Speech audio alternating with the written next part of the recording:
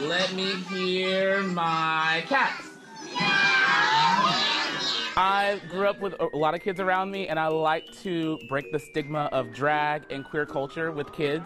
That's the whole goal: is to uh, make kids that aren't used to seeing something like me uh, more comfortable to seeing it. So once they go into school later on in life and they see something that's totally different from them, instead of bullying, they're more accepting.